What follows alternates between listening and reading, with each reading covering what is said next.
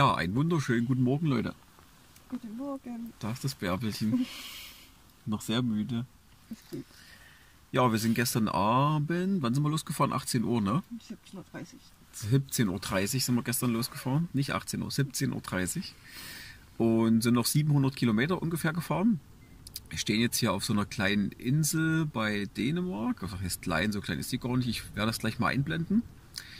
Und ja, werden jetzt erstmal aufstehen und dann noch mal ein Stück fahren. Ne? Ein Klo suchen und Frühstück machen. Ja. No? Ja, wir haben uns hier äh, auf so ein kleines Feldchen gestellt. Ähm, sind wir gestern Abend erst einmal in den Graben reingefahren, zum Glück wieder rausgekommen. Und ähm, ja, halt ein Stück von der Autobahn runter, dass es nicht so laut ist zum Schlafen.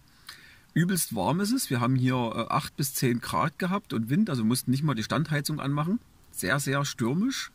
Aber das fetzt, weil die, die Windgeräusche, die um das Auto rundherum ähm, wehen, die sind einfach nur grandios, Bärbel, wa? Dann wackelt das Auto immer so leicht, das ist wie wenn man äh, so ein Kind in der Wiege in den Schlaf wiegt. Nicht wahr? naja, dann schälen wir uns mal aus in unserem Bett hier. Das ist auch krass, wir sind jetzt hier ähm, ja, 700 Kilometer weiter nördlich circa. Und hier wird es schon fast eine Stunde später hell und fast eine Stunde eher dunkel wie bei uns in Deutschland. Also da sieht man schon, wie sich das nach oben hin verschiebt. Nicht wahr? Unglaublich. Unglaublich. So, dann fahren wir mal ein Stück weiter. Ja Leute, das war unser Platz. Und wie ihr hört, es ist extrem windig und ungemütlich. Wird Zeit, dass Winter wird. Kann nicht mehr lange dauern.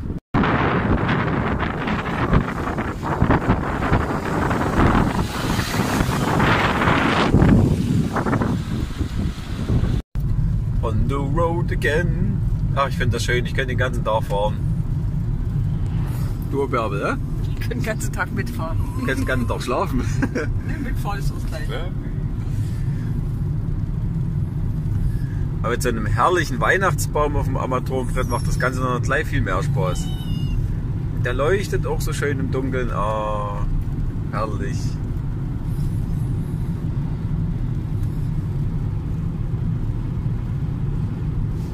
So, wir fahren jetzt über eine ziemlich große Brücke gleich hier. Die ist, äh, erzähl mal was, Berber, wie groß war die Brücke?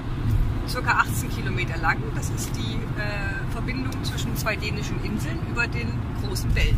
Aha.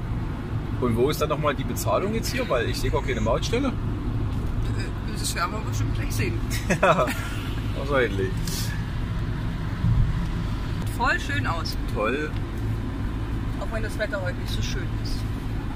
Dafür sind wir schön. Der war gut. Ja.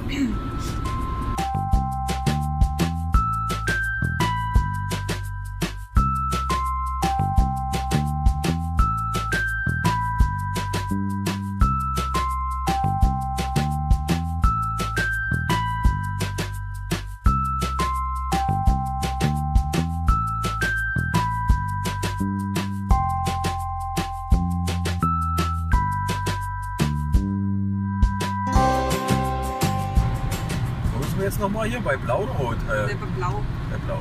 Also rechts halten. Mach Gas wegnehmen vielleicht, ne? Eine Idee. Wir haben ja hier American Express für Arme von DKB. ja, Marin. 240 Kronen. Was soll er wissen? Es dreht. Ah, keine Pin? Schön. Das kannst du ausmachen, ich habe. Bloß gut, dass wir hoch in den Norden fahren. Wenn ich mir das angucke, wir haben hier 11 Grad. Also das geht ja gar nicht. Das Ende Dezember. So, Berbis, erzähl mal unseren verehrten Zuschauern, wo wir jetzt gerade hier drüber fahren. Wir fahren über die Öresundbrücke. Was ist Die längste besonders? Schrägseilbrücke der Welt. längste Schrägseilbrücke der Welt. Ja. Ist Ah. aber jetzt, ich glaube, 8, 9 Kilometer lang ist sie, glaube ich. 8, 9 Kilometer war die andere ja länger, ne? Ja, wesentlich. Aha, okay. Was kostet die jetzt? 50 Euro eine Fahrt. 50 Euro eine Fahrt. Naja, geht Genau. doch. Geht doch.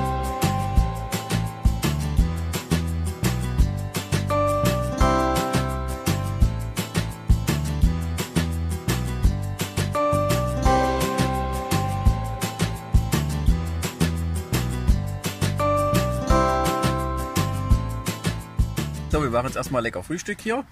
Und während ich meinen leckeren Kakao genieße, macht die Bärbel lecker Frühstück.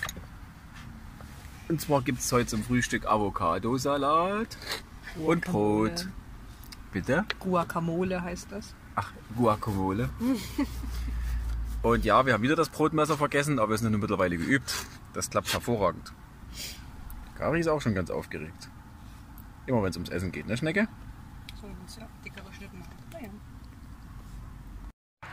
Was das da wohl heißt, ob das bedeutet, dass es verboten ist, den Mülleimer anzuzünden, kann man es fast gar nicht vorstellen. naja. Einen wunderschönen guten Abend. Ja, wir sind jetzt gut hier auf einem Parkplatz angekommen. Also wir haben echt Glück mit dem Wetter. Ist ja relativ warm zurzeit, wie so auch immer. Aber es gibt ja keinen Klimawandel, nein. Ähm, wir sind jetzt heute nochmal 1000 Kilometer gefahren, 1100 circa. Gestern 700 abends noch. Das heißt, wir haben jetzt schon über die Hälfte bis zum Nordkap weg. Und ja, wie wunderbar. Ach, die Bärbel kommt gerade wieder. Ja, erzähl mal, wie war es denn auf dem Klo? Spannend. Aber es gibt wenigstens eins. Das ist schon mal Man viel wert. ja nicht beschweren. Hier machen wir gerade noch eine kleine, einen kleinen Abendsnack, ein bisschen Fingerfood. Man gönnt ja sonst nichts. Wieso stehen deine Schuhe hier? Bitte? An der falschen Stelle. Wieso stehen meine Schuhe an der falschen Stelle? Das geht so nicht. Das ist ja Ausnahmezustand, deswegen dürfen die Schuhe auch mal an einer anderen Stelle stehen. Ach. Ja. Außerdem bin ich ja der Commander, das heißt, wenn ich die Schuhe dahin stelle, ist das okay. Was auch. Na ja. Nehmen wir das mal so hin. Na Bärbel, was sagst du, sind wir durchgekommen bis jetzt? Hä? Na, hervorragend. Also, kaum anzunehmen. Ja. Hier liegt da auch sogar Schnee, ne? Wenn man deinen griechisch-römischen Körper mal die rüber nimmst hier. Da liegt sogar ein bisschen Schnee draußen, aber das werden wir morgen früh dann mal ein bisschen besser sehen. Du willst es rein hier, ne? Wäre nett, ja. Guck mal, ich habe schon das Bettchen aufgebaut nur für dich. Ja, schön, oder? Naja, wir lassen uns jetzt unser Abendbrot schmecken und dann melden wir uns morgen früh wieder. Bis dann. Einen wunderschönen guten Morgen. Wir sind ja gestern Abend hier im Dunkeln angekommen und haben ja nicht wirklich gesehen, wo wir stehen. Und ich mache gerade hier den Vorhang rüber. Oh, guckt euch das mal an. Und da stehen wir hier an einem See mit ein paar Bäumen und da hinten geht gerade die Sonne auf. Ich könnte da stundenlang zugucken, auch wie dieses Sonnenlicht von unten sich an den Wolken reflektiert. Das kommt natürlich nur auf meiner beschissenen Kamera gar nicht so schön rüber, wie es in echt aussieht. Absolut spitze. Und es wird auch gerade kälter hier. Das sind jetzt schon minus 3, ne minus 4 Grad. Und es sollen über den Tag minus 8 werden.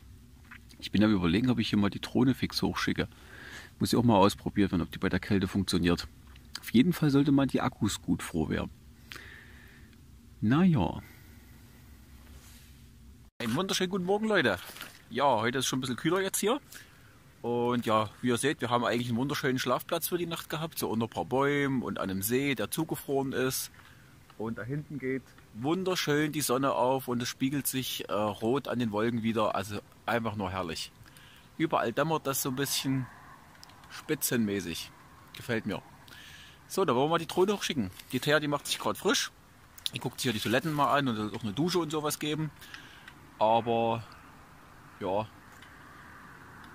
Schlau wie ich bin, habe ich uns natürlich hier auf einer Eisplatte abgestellt, die natürlich abschüssig ist Richtung See. Wird bestimmt ein Spaß, hier wieder rauszukommen. Naja. Ansonsten muss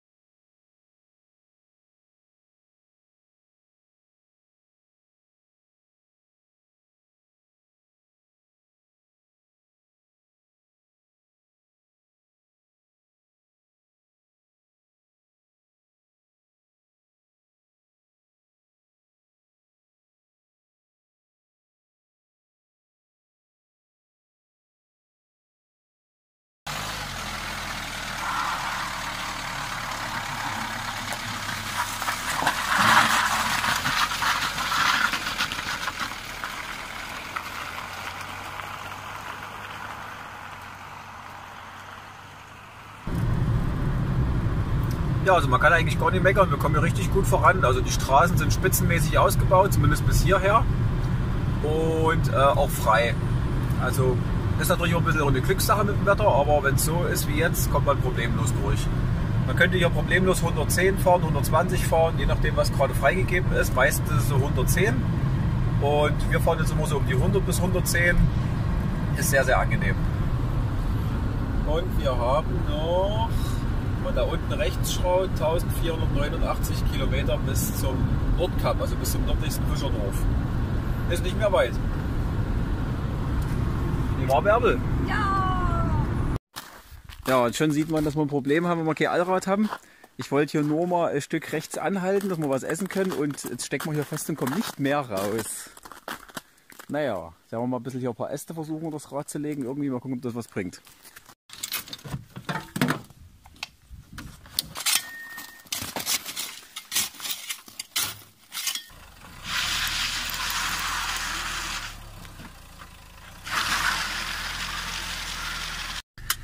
Ja, die beiden netten Menschen da vorne, die haben uns gerade rausgeschoben hier. Jetzt kann es weitergehen. Mit Manneskraft.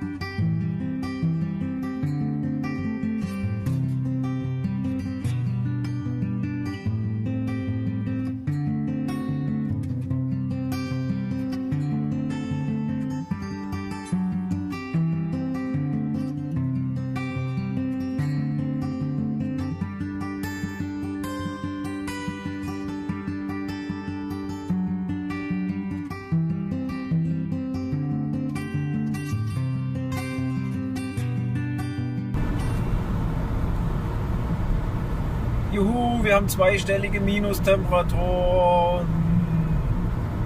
Geil. Gestern, gestern plus 12 und heute jetzt schon minus 10. Nicht schlecht. Ja Leute, ist zwar traurig, aber die Gefahr ist allgegenwärtig hier. Da hat vorhin gerade einer schon, wie es aussieht, das arme Rentier umgenüschelt. Naja, ich wollte nur noch mal gucken, ob es auch wirklich tot ist. Nicht, dass das hier noch Hilfe braucht oder so, aber sieht nicht so aus, als ob es noch atmet. Das arme Tier. Wir sitzen im Tierehimmel. Ruhe in Frieden. Leute, und ihr glaubt's nicht. Das sieht man leider wahrscheinlich nicht. Hier ist die ganze Straße voller Rentiere. Die haben wir alle Halsbänder. Guck mal, die kämpfen. Geh jetzt runter von der Straße. Die kämpfen jetzt. Du kommst im Dunkeln angebrettert. Kommst im Dunkeln angebrettert und die ganze Straße ist voller Rentiere, ey. Vor allem, die denken auch nicht mal dran rüber zu gehen. Da gehe ich fester.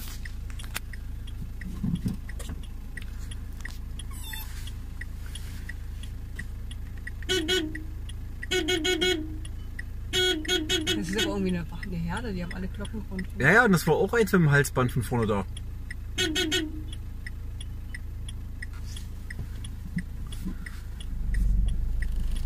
Gib mal, es gibt Fische, die nicht tun.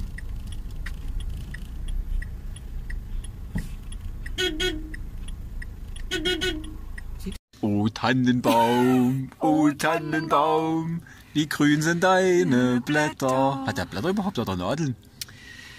Was ist das denn für ein Quatsch? Ja, da muss man sich bestimmt mal über die Geschichte des Liedes informieren. Aha.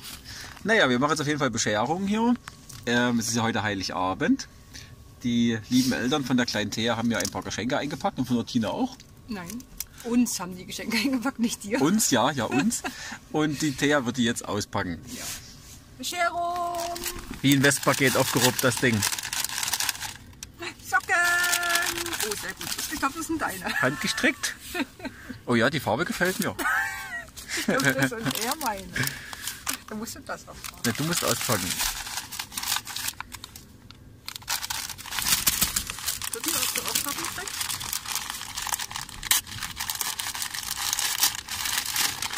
Socken! Oh, die sind meine. Oh, die sind schön. Ja, Gerade gut gebrauchen. die werden wir dann gleich anziehen. Das ist nämlich schön kalt gerade. Minus 11 Grad.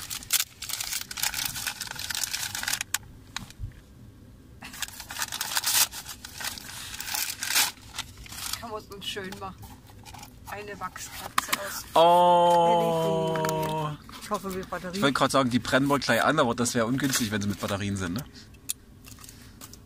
Da ist so ein Sicherheitsteil drin, das musst du dann noch rausziehen. Das machen wir dann Ja, gleich. wenn überhaupt eine Batterie drin ist. Haha. Ist die nicht leer? Was kommt da rein? R6? Zweimal Ja, A. die habe ich sogar mit, glaubst du es? Na Gott sei Dank. Ah, endlich schöne warme Socken hier. Ah, ein Traum, ein Träumchen. Handgestrickt von der lieben Ricke. Gehen Dankeschön. wir mal davon aus. So Leute, wir machen uns jetzt noch unser ähm, Abendbrot fertig. Und genau, da gehen wir die Haier. Wir haben jetzt noch ungefähr 900 Kilometer ungefähr übrig. Ne? Genau. Und die könnten wir theoretisch morgen machen, werden wir aber nicht. Und wir melden uns dann morgen früh wieder, wünschen euch schöne Weihnachten. ne? Und dann bis bald. Tschüssi.